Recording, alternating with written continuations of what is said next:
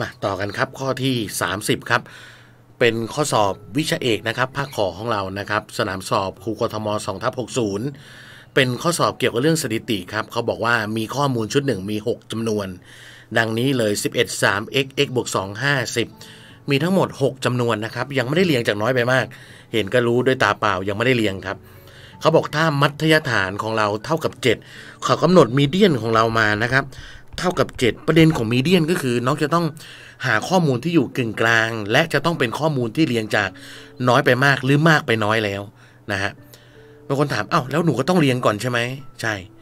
อ้าวแล้วหนูจะเรียงยังไง คนส่วนใหญ่เห็น x กับ x บวก2เนี่ยนะครับ ไม่รู้ว่าจะเรียงยังไงครับ อาจารย์บอกเลยนะครับเขาให้ตัวแปรมา แล้วเขาให้มัธยฐานมา แสดงข้อสอบต้องไปเล่นตรงมัธยฐาน นะฮะข้อสอบต้องไปเล่นตรงมัธยฐานแน่ แสดงว่า x กับ x บวก2เนี่ยต้องอยู่ตรงกลางแน่ครับ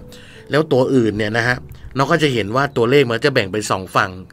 คือ 11 กับ 10 อยู่ฝั่งหนึ่ง10 กับ 11 อยู่ฝั่งหนึ่งแล้ว 3 กับ 5 อยู่ฝั่งหนึ่งแน่นอน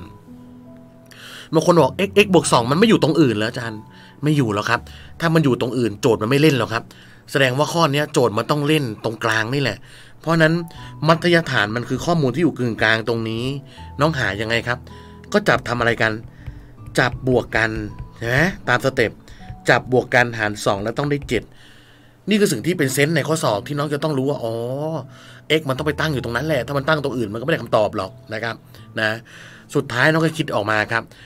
x กับ x บวก2บวกกันต้องได้ 2x สุดท้ายทางด้านซ้ายน้องจะเป็น x บวก1เท่ากับ7 อาจารย์เอาเลข2ตัดบนล่างแล้วนะครับนะเพราะฉะนั้น x ของเรานะครับย้าย 1 ไปลบ x ของเราก็ตอบ 6 ครับ ข้อนี้ไม่มีอะไรยาก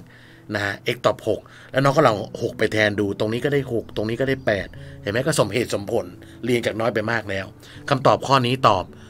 อตอบ 6 นะครับ ตอบช้อยข้อที่ 1 ครับ